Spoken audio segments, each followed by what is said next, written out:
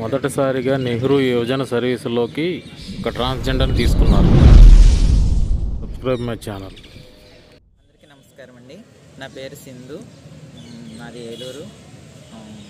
నేను Nehru Yuva Kendra government of India sports and youth అఫైర్స్లో Nehru youth వాలంటీర్గా Pedapadu black ఏలూరులో work చేస్తున్నాను.